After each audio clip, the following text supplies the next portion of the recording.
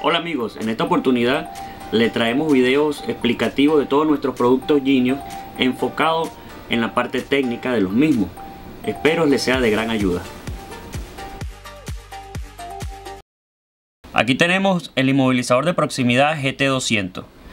¿Qué es el inmovilizador de proximidad GT200? Como la misma descripción de su nombre lo dice, es un inmovilizador que trabaja por proximidad del control con el módulo.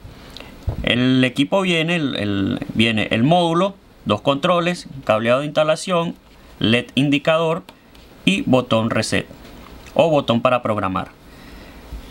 Este módulo o este equipo funciona de la siguiente manera. Al control cada 5 segundos, él manda una, emite una señal la cual la detecta el módulo. Cuando el módulo no detecta la señal del control, él activa lo que es el antiasalto o lo que es el inmovilizador. Esto hace que se haya un corte de corriente, un corte de energía en el vehículo y apaga el vehículo. O si el vehículo está apagado, no puedan encenderlo si no está cerca el control inmovilizador. El equipo está diseñado para trabajar con un voltaje de 12 voltios y tiene un consumo de 22 miliamperios. Él consta de un LED indicador, el cual le dice al, propietario del vehículo el funcionamiento normal del mismo equipo. ¿Cómo lo avisa? El LED tiene dos tonos, un tono verde y un tono rojo. Él está constantemente en rojo, verde, rojo, verde, rojo, verde. Al detectar el control, él queda en como de 1 a 2 segundos queda activado el color verde.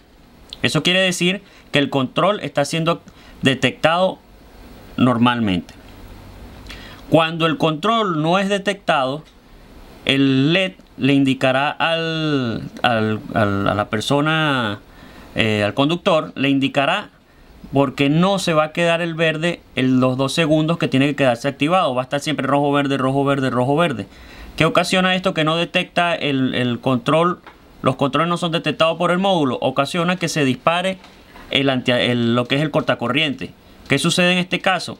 Se activará, empezará a solamente eh, titilar el color rojo. Estará rojo, rojo. Eso quiere decir que se activó el primer escenario del cortacorriente. Aquí empezará a fallar el motor porque estará mandando el voltaje, empezará a hacer un corte de corriente progresivo. Empezará a cortar corriente y el motor fallará. Luego de esto, al minuto y medio, se activará el LED rojo totalmente. Solamente se quedará activado, lo cual indica que el vehículo está en modo antiasalto. Esto quiere decir que el vehículo se detendrá y el motor no arrancará.